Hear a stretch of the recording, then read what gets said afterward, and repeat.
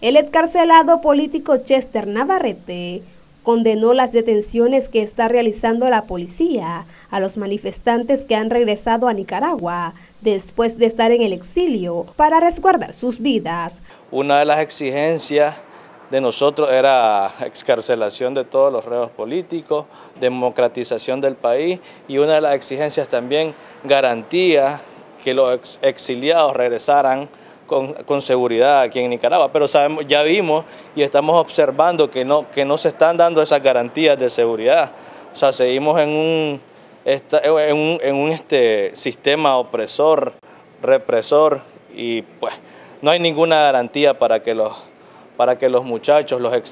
extrincherados y, y las personas que están afuera regresen con seguridad aquí al país. Y pues solo les, les decimos que fuerza, que, que sigamos luchando y que sigamos firmes en esta lucha para, para que pronto ellos puedan regresar con seguridad a un país en un verdadero Estado de Derecho y puedan regresar con, a una Nicaragua libre.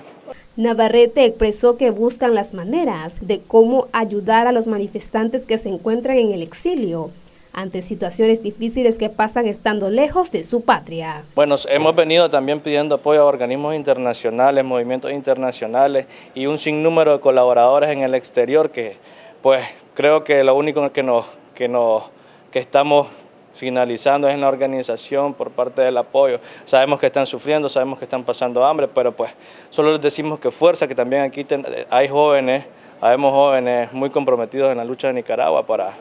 para que ellos regresen a un país libre y democrático. Noticias 12, Teresa Reyes.